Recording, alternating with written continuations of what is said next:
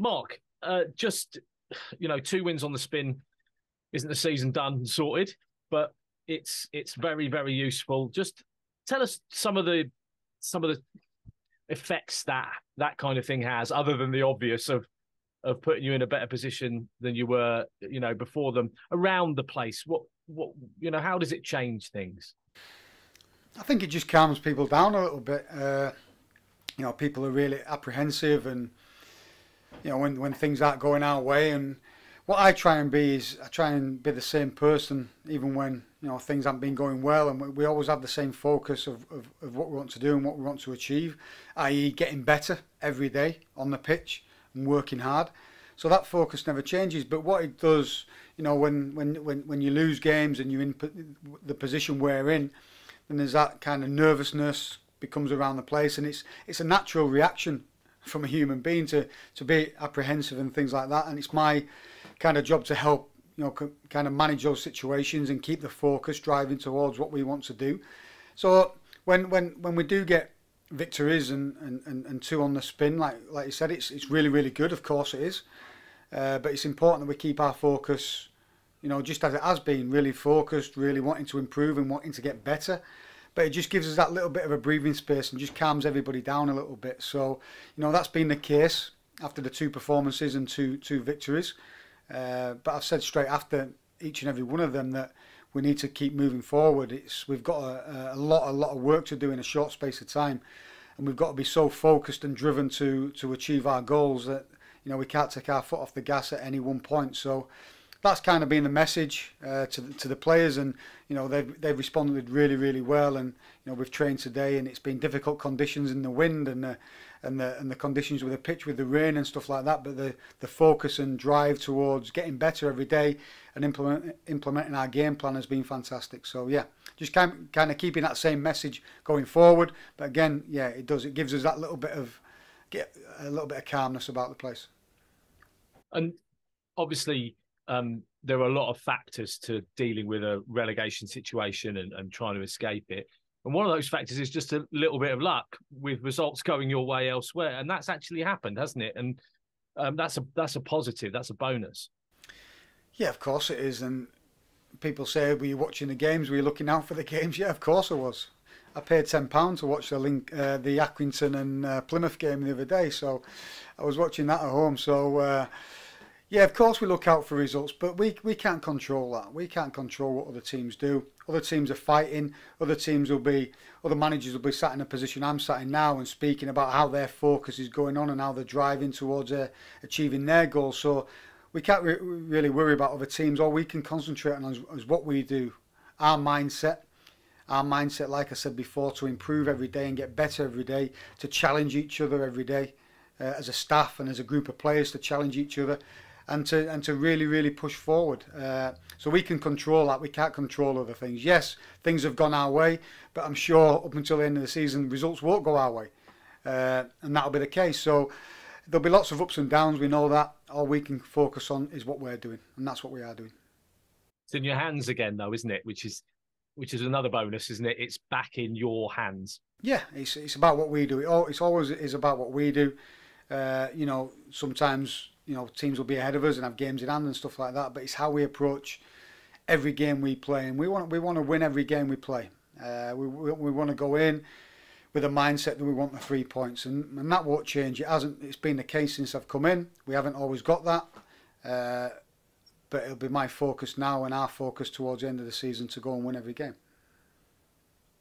We've just had a conversation with with uh, with the skipper Dean Lewington, of course, and um, not sure there's anything left to say about Dean, if I'm honest with you, um, from your time going back the many years that we've spoken to him. But but just if you can try and describe, you know, the impact that his return to the to the squad playing and side is. You know, what how, what kind of impact's it been? Yeah, I'm sure, and I'm sure the words what are going to come out of my mouth now you've heard before. Uh, but in a short time, I've worked with Dean since I came in, but also since he came back on the pitch as well. Uh, he, he, he's a terrific leader. Uh, he leads by example. He leads by uh, vocally using his voice and experience. Uh, so he's an all-round leader in that in that respect. He's such a calming influence to, to the players around him, which is which is essential on the pitch during during difficult times. And he's a player who has tremendous football ability, but kind of leadership ability as well. And and that's been apparent in the, in not only the past two games when he's been back, but when he's been around the place as, as well, and particularly when he's getting back into training and in and around the training ground. Uh, you know, he's, he's a big influence to the to the players in the squad. So, you know, I'm sure you've heard that before from previous managers he's worked with, and you know, he's he's he's, he's, he's a great character and he's a great footballer to have in our team at this minute. Um, and up next, uh, the games, the great games keep on coming. You, have got Morecambe, which we'll talk about in a moment, but Jonathan Leko returns and is available for selection, and a, a, another little boost for the side, another boost in energy and, and, and attacking prowess in the side. Yeah, it, it, gives another element to, to our game having having Jonathan back. What he brings to the game is a directness. You know, he's powerful. Uh, he can create. He can score.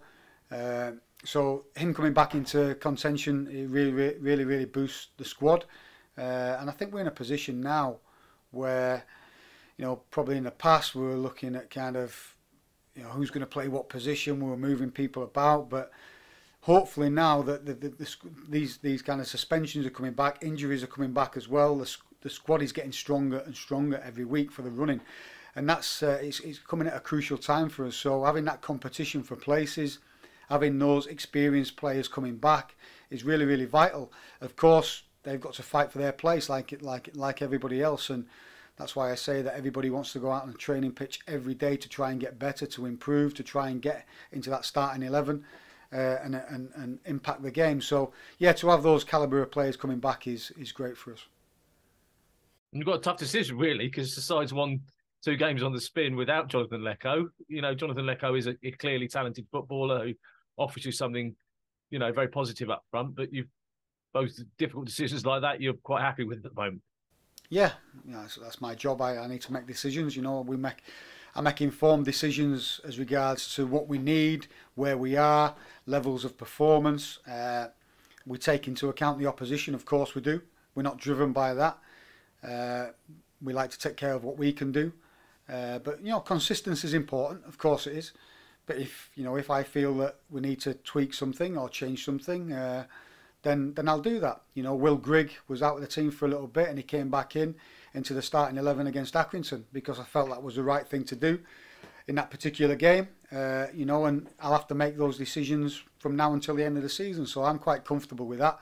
Uh, you know, I work with my staff uh, to to discuss what we're going to do, and then ultimately, you know, I make that decision and and we deliver a team on Saturday what we feel can win the game. How's Anthony Stewart getting on? I suppose it's about the time we get kind of regular updates about Anthony because you said he was back kind of warming up. How's it going? Yeah, he's been back in, I'd say, part training this week, which has been really, really good. So every day he's been building up. Uh, last week he just uh, was taking part in warm ups uh, and, and kind of activation passing drills. But this week he's, he's taken a more active role. Still not in full training. Uh, if everything goes well this week, he'll be in full training next week. Uh, and if he comes through that, you know, he'll be available for selection. So again, another another big boost for us as regards to caliber of player, uh, leadership qualities within a player, experience in a player coming back in as well. So, you know, that's great for him, and it's great to see the smile on his face as well, because it's been a really really tough time for for Anthony since he came in. You know, to come in and have two training sessions, uh, to to meet new teammates and. and, and, and kind of want to come in and make an impact and have that taken away from you is, is difficult for him. But he's conducted himself well. Uh, he's been around the players. He's, he's, he's, he's give his experience and, and thoughts on certain aspects. Uh, and he's been working really, really hard with the with the medical staff. So again, credit to them as well for getting him back. He looks in good shape, but we're not quite there yet. But you know, we're getting closer and closer with it.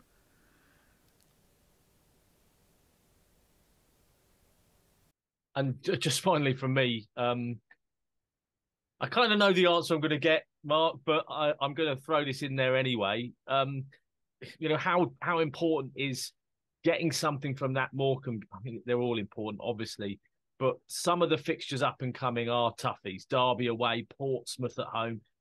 Just you need those points under your belt, really. Yeah, it's a big one for us.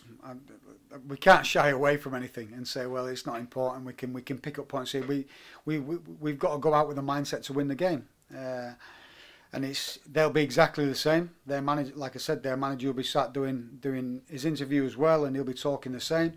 Uh, so it's about who can deal with uh, the situation and the magnitude of the game because it is a big game. You know, we've experienced that over recent weeks, and we've come through those experiences really, really well. So hopefully, you know, we've got we've got confidence within ourselves to go and do that. But we have to be mindful and we have to be respectful of the threat that, that Morecambe will pose, and they will pose a threat to us. So we need to be ready for that. We need to nullify that, and we need to be ready to impose our game on them as well. So, uh, yeah, it's a it's a massive game. So yeah, we'll, we'll we'll be looking for three points, and we'll be doing everything we can to get that. Thanks, Mark. Appreciate it. Cheers. I just asked Dean Lewington a, a, similar question to the one I'll, I'll pose you here. Um, when you came in, you'll have obviously had ideas of how you'd have wanted MK Dons to play, and you know you'll have played a few games. You'll have seen, you know, potentially limitations in, in, in what you've thought. Have there been sort of elements of, of your grand plan that you've almost had to park in the short term, just to try and get out of trouble and not necessarily win by any means necessary, but just just get more of the job done and, and ensure that Dons stay up? Yeah, I would say there's there's there's elements of, of what we want to do, and I think they've been driven by kind of the injuries we've got, uh, the availability of, of certain players, and what we want to do. So that's been driven by that. Uh, so yeah, I mean, my, my, my longer term vision is, is is playing a certain way. I think we've we've tried to implement that, and we are implementing that a, a lot of the the games we've played. We we are doing that. Uh, we don't want to change the identity of what the club is. We're, I'm clear on that, and that's how I want to play my style of football is, you know, having the ball more than the opposition. Has that been the case in every game? No, this this this year for varying reasons, but that's ultimately what we try and do is to dominate the game and dominate possession. We want to we want to build. We want to be a creative team. Uh, what I've tried to instill as well is the out of possession work we do is how quickly we win the ball back and how we press and the intensity of how we do that Uh, and then trying to create kind of that wave mentality where we want to try and pen teams in. We can build from our goalkeeper, of course, we want to do that, but we don't want to dominate the ball in our own half. We want to dominate the ball in the opposition half uh, and, and, and keep the ball in there and, and use our attacking prowess to, to, to create chances and score goals.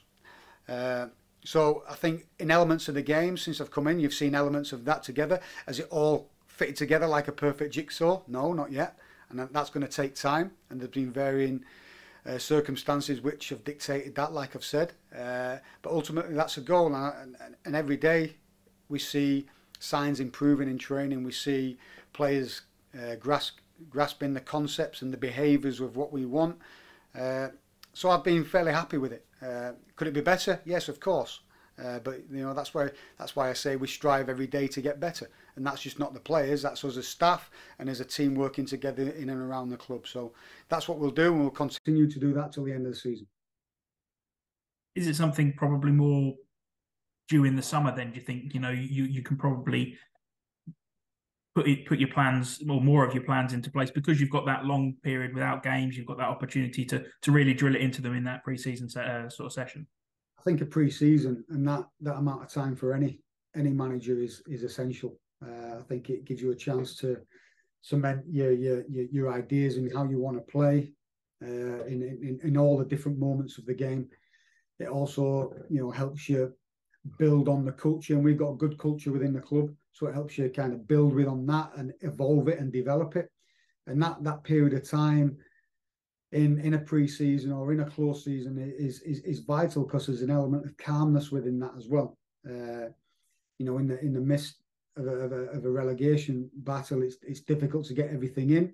You've got time constraints as well, particularly when you're dealing with injuries. So, you know, I'd say for any manager that that that that pre-season period is a is a vital time where you can start to really cement the foundations of what you want to do uh, and, and really refine every other little thing in all moments of the game.